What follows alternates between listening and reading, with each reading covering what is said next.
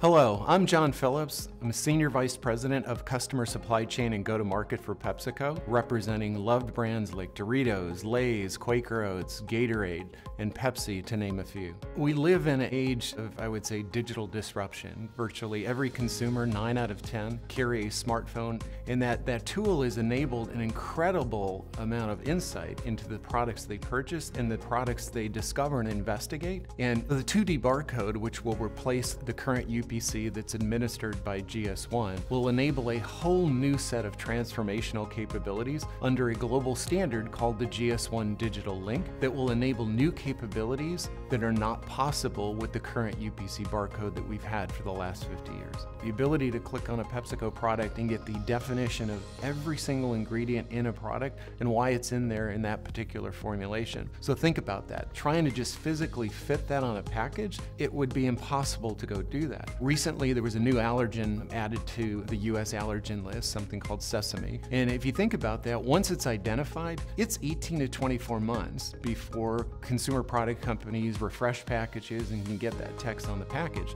Think of a digital world where if I had a digital activation on every package and it's been ratified in the legislation, the ink is dry on it, I can instantly provide that information to the consumer digitally. All of that is now possible with a single 2D barcode on a package enabled by the global industry standards from GS1 that actually create the GS1 digital link. The amount of information that consumers is seeking is expanding, it's not contracting. If you're not yet engaged uh, in this conversation, the time is now.